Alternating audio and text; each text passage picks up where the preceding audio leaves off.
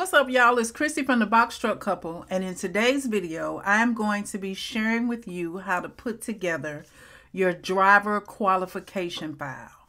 So, a lot of people have been asking in different videos in the comment section if we could do a video to show you how to put one together.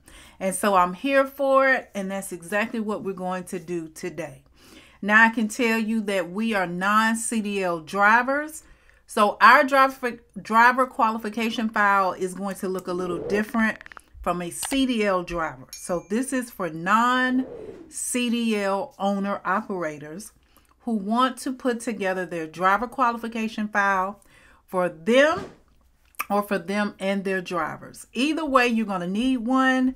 You're going to need to keep these documents not only where you keep your records, whether it's on your computer, on a USB drive, um, or in your document section of your computer, but you're also going to need a, to keep a copy in your truck. So this can be kept, these documents can be kept in your DOT compliance binder.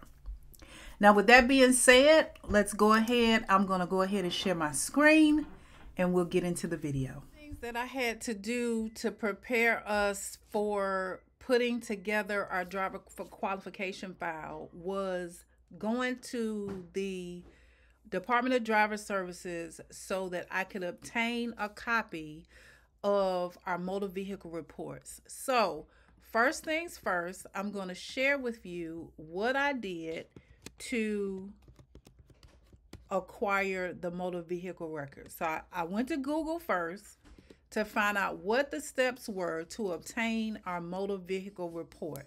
Now, there are lots of options here, but I was looking for a reliable source. So I went to this website. It's dds.georgia.gov, which stands for Department of Driver Services, um, georgia.gov. So I went there and you have a couple of options. You can download the DDS to go mobile app. I didn't know anything about that um is so I didn't use that option. I wanted to go in person. So step three is in person at any DDS customer service center. So if you drop, if you click the down arrow here next to it, it tells you what to do. You can request a three year, seven year, or a lifetime MVR. For the safety audit, we simply needed a three year. Um, so I knew that was the option that we were going to choose. And then I clicked here on motor vehicle request form because I knew that I was going to need this form to take with me. Now it says you must fill out the required form. Uh, it includes your full name, date of birth, Georgia driver's license, etc. So if you click here on this report, this is what the form looks like. I printed two copies, one for myself and one for my husband. If you are picking up your own copy, then you'll you will click I am requesting my own Georgia MVR and then you will proceed to filling out the application. Now for yourself, you only need to fill out section 1 with your first name, middle name, last name, your date of birth and your driver's license. And then section 3 and you'll request either a three, seven, or lifetime MVR, and then you will click the first option under section four, which is request release of my driving record, and then sign and date. That's all you need to do for your motor vehicle report. Now, if you are getting, in my case, I was also picking up my spouse motor vehicle report, or maybe you have drivers as you hire your drivers and want to pull their MVR, this is one of the forms that you should have inside of your application process. They should fill this out to release their information so that you can pick it up. So in the case of picking up somebody else's MVR, you will click the sec second option. I am requesting a Georgia MVR of another individual. Section 1 is their name, their date of birth and their driver's license number. And then section two would be you.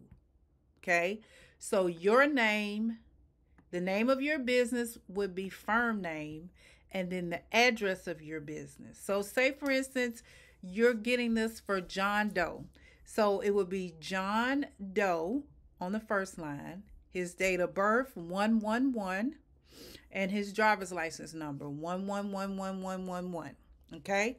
And in section 2, you are the third party that's requesting this information. So for us, it would be Christy Vaughn. Uh, my firm name would be the name of my business, meant to be Trucking LLC, and then my address, which is whatever your business address is.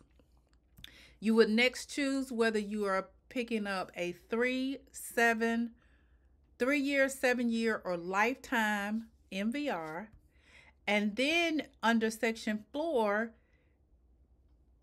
the person whose record you're picking up would check consent to release of my driving record to the person and or entity named in section 2 this is where they will check and then they will sign and date this form so when you take this form in you don't need a copy of their driver's license you need a you will though need a copy of yours whether you're picking up yours or picking up someone else's so that is the form um, that you will take into Department of Driver Services.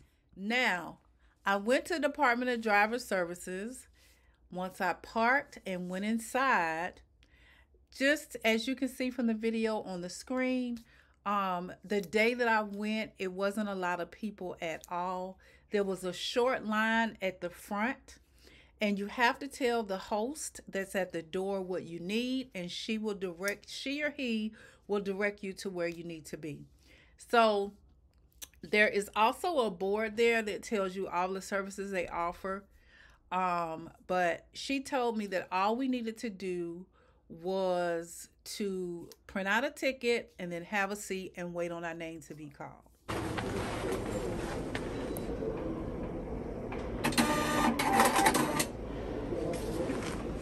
I feel like I did that fast. On the kiosk, you can choose if you need your driver's license and ID, motor vehicle report, if you're doing a road test or a permit test. So I clicked motor vehicle report and it printed me a ticket. I'm A07. Time to sit and wait.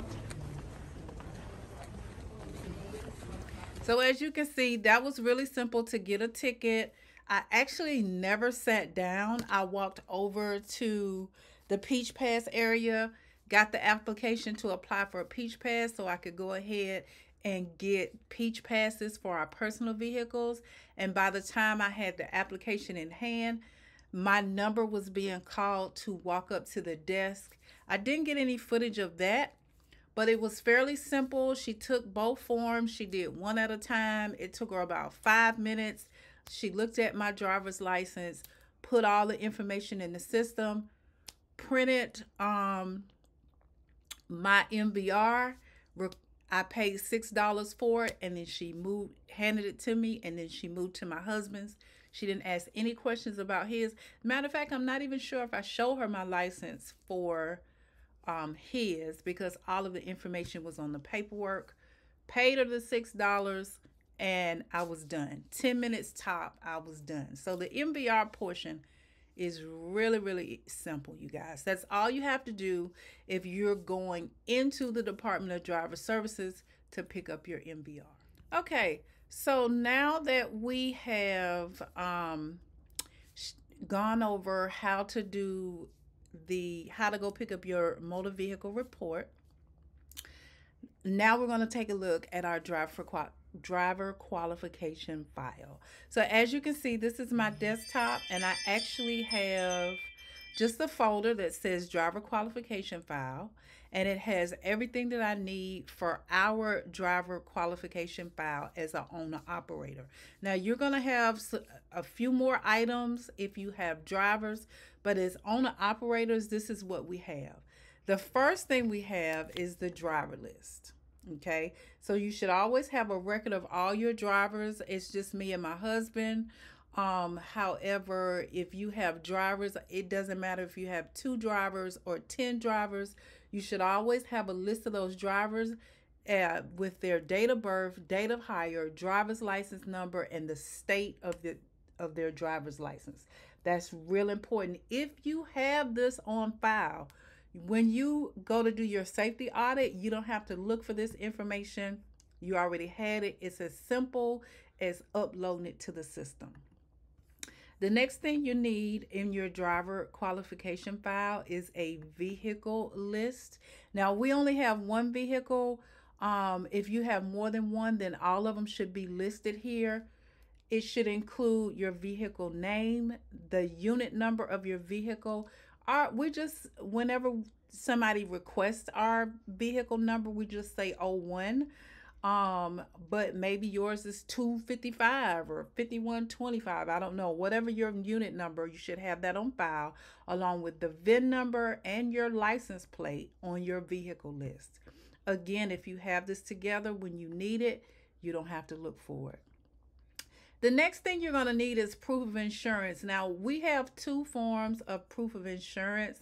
I keep a copy of my certificate of liability insurance um in this file, but if you were doing your something for the FMCSA, then you would actually need what's called a MCS 90. So we keep a copy of that as well. It's called the MCS 90, and you can get that from your insurance company. But this is the official document that should be in your. This is the official document that should be in your driver qualification file. All right, the next thing you're going to need, I'm looking at my notes. The next thing you're going to need is all copies of the medical card, your DOT medical card. You'll get that from your um you have every driver has to have a DOT medical card. So every driver listed in your driver's list, you should have a copy of their DOT medical card on file. You also need a copy of their MVR. Everybody is not going to look the same. Um, if they have a, a record or a history on their MVR, it could be longer than this. Come on, Georgia or whatever state you're in letterhead, and you should have a copy of all drivers in your records if you have um not if you have if you own your own vehicle then you will have a um annual inspection um i had a copy of the annual inspection from last year.